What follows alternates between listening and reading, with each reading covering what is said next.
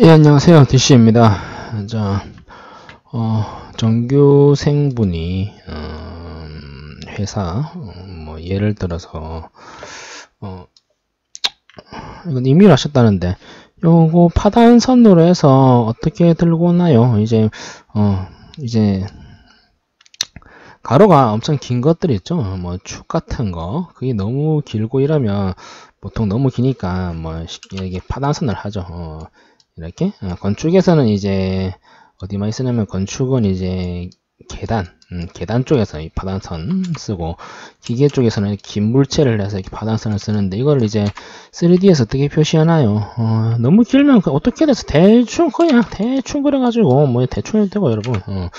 근데 3D가 문제죠 3D는 어떻게 3D 솔직히 뭐 대충 해서 뭐 대충 하면 되는데 어, 인벤, 인벤드에서 바로 하는 방법 가르쳐 줄게요. 어차피 인벤드에서 끌고 온 거라니까, 뭐, 음.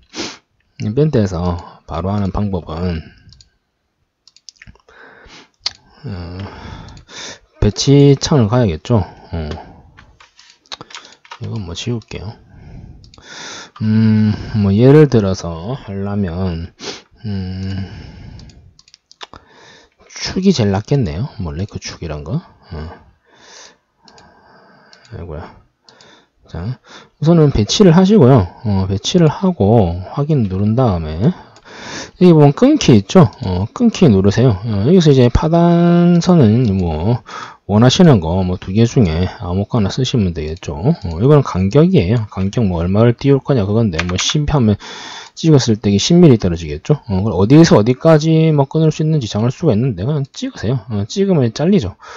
어, 여기서 뭐 이렇게 간격은 이렇게 드래그를 하셔가지고 더, 더 짧게 할 수도 있고 뭐 아니면 뭐 이렇게 더 길게 어, 더 길게 할 수도 있고 뭐 그런 거겠죠. 음, 뭐 음. 이렇게 해서 뭐 이제 파단선이 됐다. 그럼 이런 이 정도 이 정도 뭐 위치를 맞춰 주시고 여기서 바로 뽑으시면 돼요 투영으로. 그냥 이렇게 되면 파단돼서 나오잖아 이게 이렇게.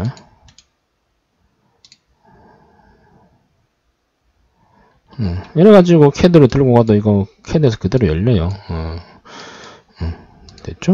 음, 이렇게 하면 되죠. 어, 이거, 이거 물어보신 거죠? 어, 이거, 이거, 이거, 물어, 이거 물어보신 거 아닌가? 잠시만요.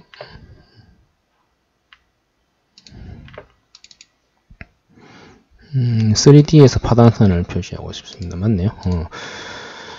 이렇게 하면 이제 얘네들이 잘린 게 보이시겠죠? 아시겠죠? 자. 유튜브 하려면 저희 카페 주소가 유튜브 주소에서 오셔서 많이 구독들이랑 카페 가입되시면 됐습니다. 자, 수고들 하셨습니다.